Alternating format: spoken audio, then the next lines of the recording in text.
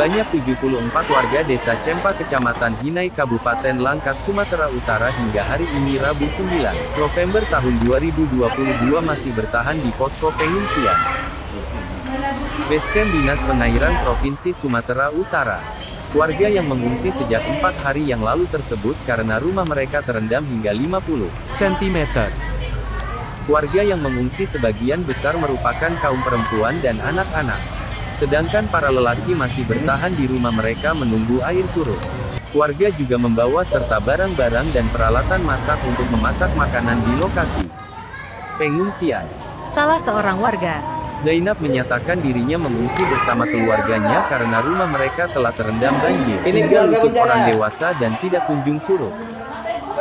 Saat ini warga di pengungsian masih membutuhkan bantuan bahan pangan untuk keperluan makan sehari-hari. Hal yang sama disampaikan oleh pengungsi lainnya. Salmian yang mengungsi bersama keluarganya karena tidak bisa beraktivitas di rumah karena kondisi air yang masih tinggi. Rumah kami di Perumnas Cempa tenggelam hingga 1 meter, ujar Salmia. Kakak siapa nama?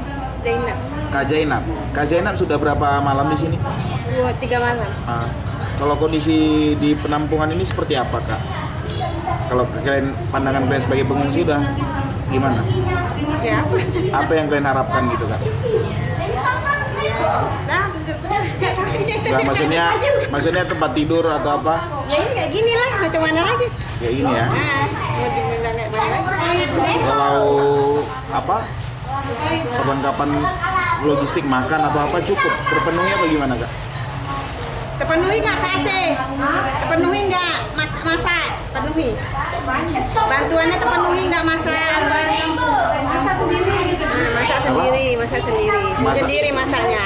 Ya ada juga bantuan tapi masak masak sendiri lah gitu. Nah, bantuannya ada juga tapi pernah tadi karena nggak ada itu aja masak masak sendiri sendiri lah. Masak sendiri aja. Jadi kak, udah ada keluhan nih anak-anak sehat nih semua keluarga?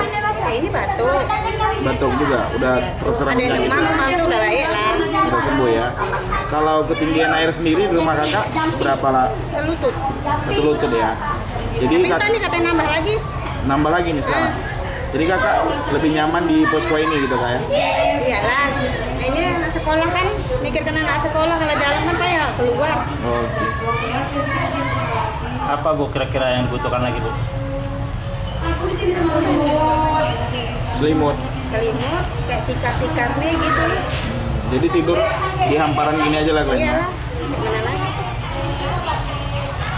Ibu dengan ibu siapa? ibu Salmia Bu Salmia. Ibu ke sini sama siapa? satu keluarga Satu keluarga. Berapa orang keluarganya? lima kami Lima orang. Sudah nginap berapa lama? tiga malam Bu, kalau di posko ini, apa kira-kira yang kekurangan yang dibutuhkan pengungsi? Bu? Alhamdulillah belum ada yang Belum ada yang kurang ya, masih mencukupi ya. Iya. Kalau dengan pakannya sendiri, makan atau apa, ya cukup lah itu dari swadaya ya dari posko dari eh, apa namanya Pemkap atau apa gitu. bantuan dari luar lah Oh, sudah ada bantuan. Sudah. Kalau masak, orang yang di sini lah ya. iya iya Jadi untuk makanan sendiri Surabaya mesti sendiri ya?